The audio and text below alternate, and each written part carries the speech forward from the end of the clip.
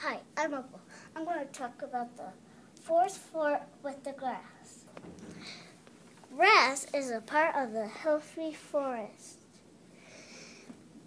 It feeds animals like deer. Grass is important